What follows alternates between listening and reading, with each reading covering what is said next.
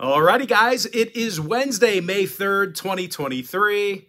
This is my Major League Baseball free pick video here today.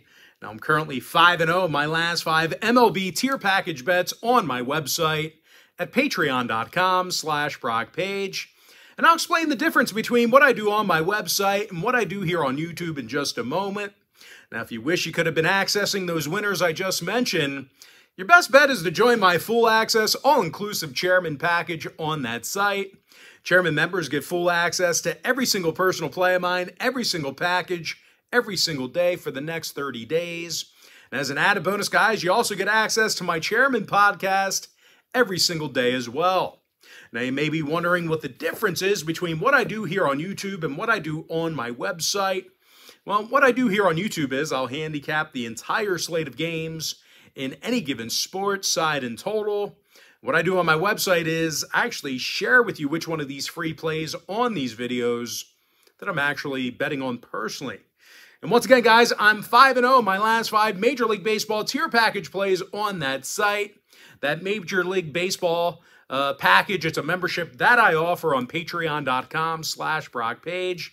And if you sign up for that package here today, you're going to get access to that membership for the next 30 days. And as an added bonus, you're also going to get access to all of my cheaper memberships absolutely free. They're going to be included with your purchase. And with that, guys, let's go ahead and dive into some free content. We're going to start off with the Mets Tigers game one, and that'll be a 140 Eastern first pitch. New York's the $1.65 favorite on the road, totals nine runs. Joey Lucchesi for New York. Joey Wentz for Detroit. Now, Wentz is 0-3 with an ERA in the sixes. And even if he does pitch well here today, he's probably not going to get the run support he needs. The Tigers are averaging less than 3.3 runs a game. Uh, they're going to have to face Joey Lucchesi, who's got a 2.19 ERA and a 1.05 WHIP. Now, New York's also a top 10 run producing team on the road. Pete Alonso leads the majors in homers, second in RBI. Meanwhile, Brandon Nimmo's hitting a team best 320 at the dish. Now, injury wise, Meadows and Carpenter are out for Detroit. When it comes to the total, Detroit 7 5 to the over at Comerica Park. Meanwhile, New York saw three out of their last four on the road get over the total themselves. Give me the Mets minus 165, over 9. Next game, D-backs Rangers 205 Eastern first pitch. Texas is minus a buck and a quarter, totals eight and a half. Andrew Heaney for the Rangers, no confirmed starter yet for Arizona, but regardless of who throws out the first pitch, this Arizona pitching staff has certainly struggled. They're in the bottom five in the National League in runs allowed on the road. They're also striking out fewer batters on the road than any other club in the National League. Now they're facing a Texas team who leads the league in home scoring. Adolis Garcia's got a league best 30 RBI along with eight home runs. Meanwhile, Jonah Heim's the team leader in batting average. When it comes to the injury report, Seager and Garver are still out for Texas. Corbin Carroll's questionable for Arizona. When it comes to the total, Arizona's 60% to the over in their road trips. Meanwhile, Texas has gone 11 5 to the over at Globe Life Field. Give me the Texas Rangers minus a buck and a quarter, over eight and a half. Next game, Giants, Astros, 210 Eastern start time. Houston's minus a buck 70, total seven and a half. Framber Valdez for Houston, Logan Webb for San Francisco. Now, Webb's just 1 and 5 on the year with an ERA in the fours. The San Francisco pitching staff's also allowing more runs a game on the road than any other club in the National League. Now they're facing a Houston lineup who uh, hasn't been striking out a whole lot at the dish this year. Mauricio Dubon's got the fewest strikeouts at the dish in the starting lineup. He's also the club leader in batting average. Meanwhile, Yordan Alvarez is fourth in the bigs in RBI. And even if the Stros struggle at the dish, Framber Valdez is on the bump, and he's been solid. He's got a 254 ERA and 37 strikeouts. Now, injury wise, Brantley, Altuve, and McCormick are out for Houston. Meanwhile, for San Francisco, Crawford, Ruff, and Johnson are still out for them. When it comes to the total, San Fran 7 2 to the over in their last nine road games against the American League. Meanwhile, Houston's gone 65% to the over at Minute Maid Park. Give me Houston minus a buck 70, over seven and a half. Next ball game, Reds, Pods, 410 East. San Diego's 280, totals 9. Seth Lugo for San Diego, Luis Cessa for Cincinnati. Now, Cessa's just 1 and 3 with an ERA of 955.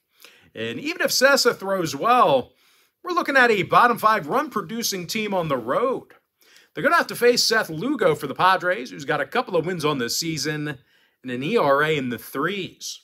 And in San Diego's last 10 meetings with Cincinnati, they averaged six runs a game. Xander Bogaerts is hitting a team high 304. Meanwhile, Nelson Cruz is the club leader in runs batted in. Now, injury wise, Engel, Campusano, and Dahl are still out. Meanwhile, for Cincy, Votto and Myers are still out for them. When it comes to the total, four out of Cincy's last seven road games did fall under the total. Meanwhile, San Diego went 60% to the under in their last 10 themselves. Give me the Padres minus one and a half, under nine.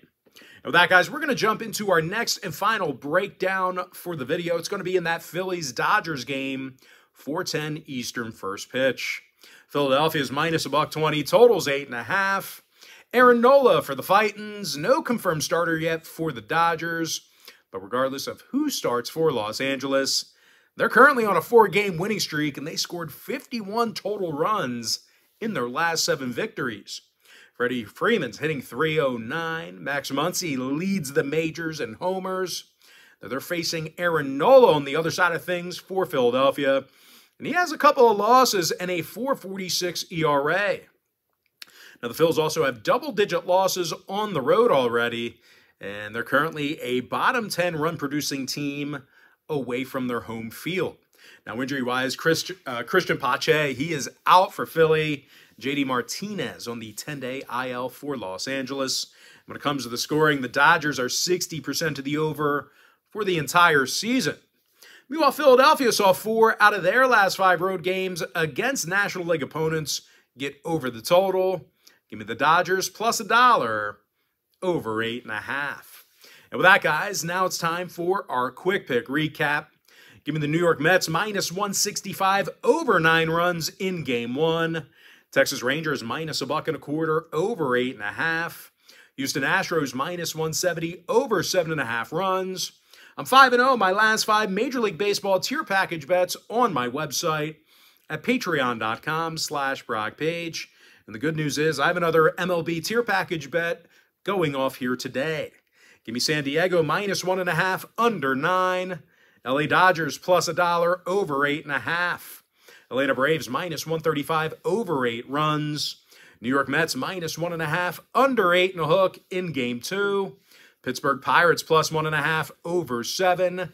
Chicago Cubs minus one and a half over eight. New York Yankees plus a buck 15 under seven and a half. Minnesota Twins plus 105 over eight runs. Boston Red Sox plus one and a half over nine and a half runs. Baltimore minus 155 under nine. LA Angels minus 135 under eight. Colorado Rockies plus a dollar over 12 runs.